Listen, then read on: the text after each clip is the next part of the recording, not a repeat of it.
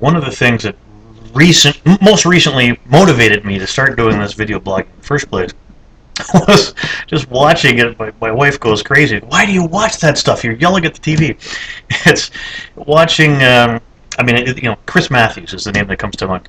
I remember I used to watch Hardball uh, on a regular basis and, and, and loved it. It's like this is this is great, but I don't know what's happened. If I've just become more impatient or, or uh, I, with time, I'm not sure if he's changed or if I've changed. I watch Chris Matthews now, and it's just he will not let anybody talk. I mean, it just he just he chooses.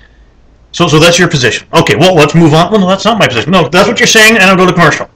It, it's so frustrating to, to, to, to, to watch him now. And it, to me, it doesn't even matter whether you're on. He, he's clearly clearly biased. I mean, it doesn't matter to me whether you're on his side of any particular uh, topic or argument or on the, the, the guest, but it's so frustrating to watch someone be sort of bulldozed over again and again and have their opinion characterized by him and simplified by him, and then he just bull. Well, so you you believe this, so obviously you're an idiot, and let's just move on. Well, hang on a second, that's not what I said. It's just it's endlessly frustrating, and that was one of the reasons I wanted to. It was one of the impetuses for for me to say, "Geez, let's God, I got to get that off my chest." And uh, you know, of course, he, he, whether he's uh, running up and down M Michele Bachmann, uh, fixated, just fixated on on uh, uh, on Michele Bachmann. Those were some of the things I wanted to talk about, which I think are very funny as a Canadian watching U.S. politics. But of course, here we are today with what's happening in Egypt and now in Jordan.